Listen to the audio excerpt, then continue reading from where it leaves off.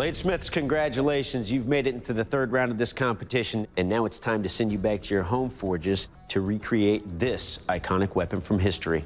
That weapon is Charlemagne's Joyeuse. Today we are pre-testing Charlemagne's Joyeuse. The Joyeuse was supposed to be a sword wielded by Charlemagne. And it is your standard sword that, as you look at it, is quite decorative because it's a homage to the great Charlemagne. Meaning joyful, the Joyeuse is considered one of the most famous swords in history and was the personal sidearm of King Charlemagne. After the fall of the Roman Empire, Charlemagne used the blade in battle to reunite Western Europe. Covered in gold, jewels, and floral patterns, this weapon was light and deadly and earned the reputation as the sword that conquered Europe. Featuring a double-edged blade with a deep central fuller, the sword was also rumored to have magical powers, like the ability to shine brighter than the sun. Today, the legendary sword can be seen on display at the Louvre. So when we test a weapon that's tied to a historical figure, I try to embody the feeling of who that historical figure was. When did he live? How did he fight? So that way, it ties into the kind of weapon that I'm wielding. At the same time, it gets me into character, I guess. I try to embody the spirit of who they were and how they fought. So we had some weapons like Genghis Khan or the Barbarian, I'll fight you like a barbarian. Or we had General Patton's sword. And of course, now we have Charlemagne's Joyeuse sword. So with this particular weapon, we actually engage multiple targets, which they do in combat. It's not just a one and done. Now, when you create that kind of scenario, it allows me to truly test the balance of the weapon. When I say balance, it's not only just the weapon in my hand, it's how do I move with my legs with it. When I'm moving around, attacking different targets. Every time you move, it really gives you information about how the weight of that weapon will affect the way you move. This is a multi-use weapon, so I wanted to see how many different ways can I cut, can I thrust, can I chop with it. Pre-testing the Joyeuse against a boar really gives us information of that edge, how well it can cut thick hide. Sure was a lot of fun.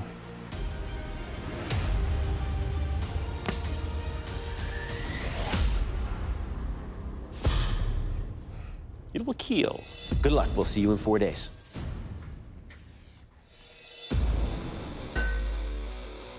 So I'm going to use a big piece of 5160 bar stock.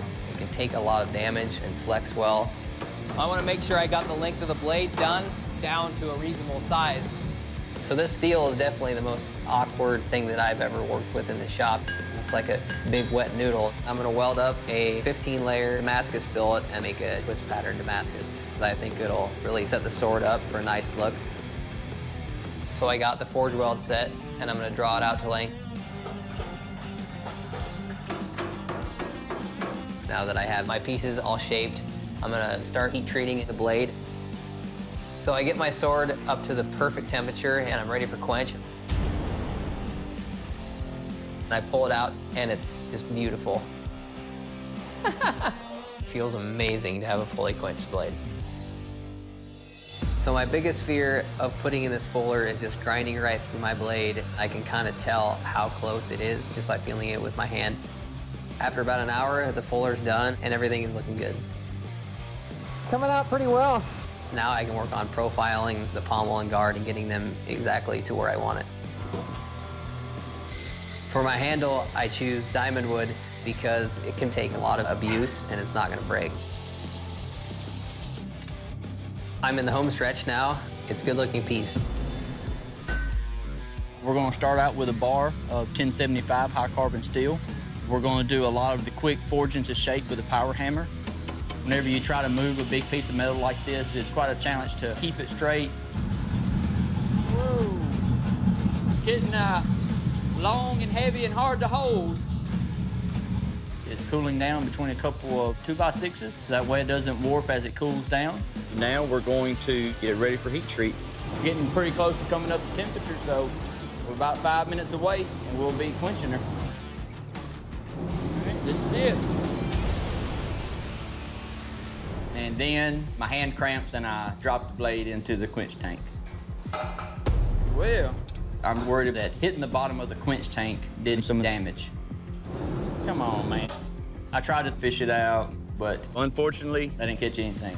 Ended up pouring it out in a five-gallon bucket in my yard. I got the blade out, so it's all good now. I did pick up a slight warp close to the tip. I should be able to straighten that out during the temper cycle, so time will tell. My biggest focus is going to be getting the blade straight, and so I want to get that out of the way and then go from there. My solution is to extend the width of the jaws with some angle iron, heat it up, and use some wooden dowels to put the proper pressure where it needs to be. She's straight. Oh, that's so freaking awesome. Now I need to make the handle. Time's running out, so it's a race to the finish. All right, she's getting there. End of day four. Man, it's been quite a trip. Everything turned out great. A lot of hard work, but I believe it really paid off in the end. That's a sword in four days. All right, bladesmiths, welcome to the kill test. To find out how lethal your weapons are according to its historic design, I will take your weapon, deliver some killing slashes and thrusts on this poor carcass. Mitch, you're up first. You ready for this? Yes, sir.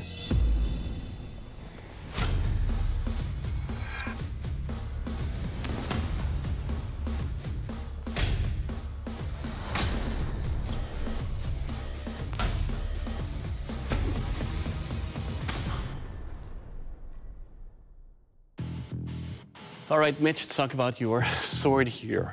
Your edge, coupled with the weight that you have here, allows for very deep cuts with every strike. Overall, sir, it will kill. Thank you. All right, Peyton, it's your turn. You ready? Oh, yeah. For this test, I'm not too nervous. I'm just excited to see it happen, honestly. I get to see this board get cut in half, hopefully.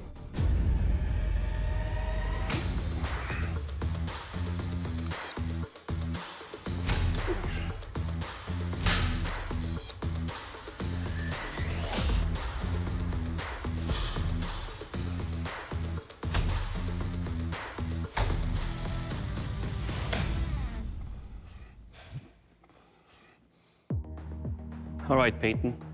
That was joyeuse. What I like about this sword is not just about the edge or the point, it's the balance in this. I can actually use some velocity and it cuts deep. Overall, sir, it will kill. Thank you.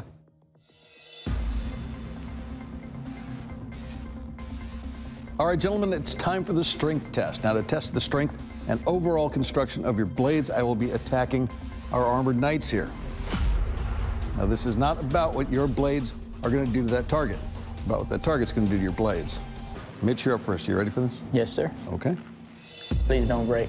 Please don't break.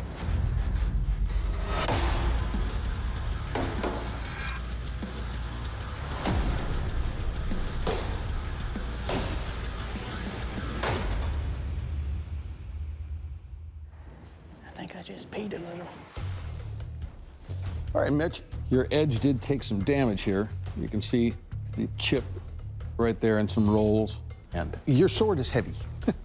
you know, this is a, a lot of weight for a single-handed sword, more in the range of a two-handed sword as far as the weight goes. But um, she held up.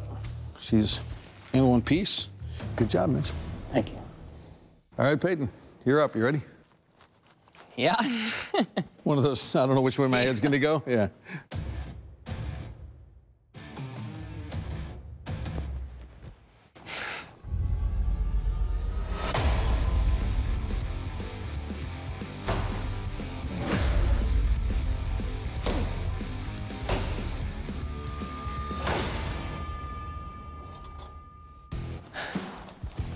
All right, Peyton. It's weighty, but the, the weight is all back in my hand, so it doesn't feel as heavy in the blade. This sword has a much better point of balance than the other sword. Your blade did take some chips and some edge rolling, but I think you, your grinds are beautiful. The sword is all solid. You did a good job. Thank you.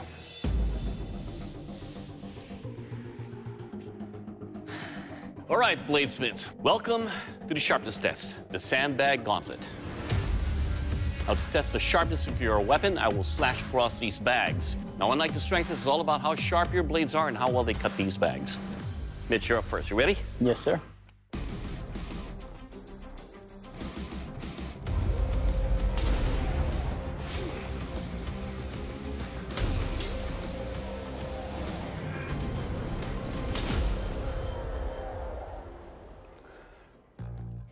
All right, Mitch, so despite some of the damage of rolls and chips, it wasn't an issue at all in cutting these bags. It will cut. Thank you. All right, Peyton, your turn, sir. You ready? Yes, sir.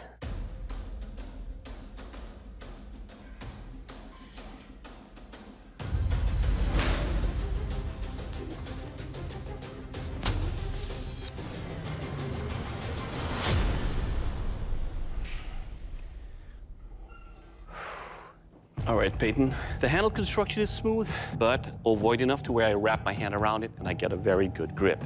You will cut. Thank you. Mitch, Peyton, the judge's deliberation is complete. You guys have done fantastic work on these finale weapons, but there can only be one Forged in Fire champion. Our new Forged in Fire champion is... Peyton, congratulations. You're the Forged in Fire champion. Mitch, unfortunately, your blade didn't make the cut. Mitch, you brought us a sword that performed well in all three of our tests. So this came down to the finer points of craftsmanship, as in where to place the balance point on that blade and the general weight. That balance point being so far forward made it harder to wield and harder to control, and that's why we're letting you go. I understand. Mitch, you've been a great competitor this entire competition, but at this time, I have to ask you to please surrender your blade. Obviously a little disappointed. Overall, happy with what I turned in and uh, happy for Peyton. If I had to lose to anyone, I'd just soon lose to him. Peyton, congratulations. You are the new Forged in Fire champion, and that is a title that comes with a check for $10,000. Congratulations. Please present your sword to the judges. I'm the next Forged in Fire champion. Ah, it's just crazy. As soon as I heard my name, it was just like a weight just got pulled off my chest. Just like, ah, it's over. Finally can breathe.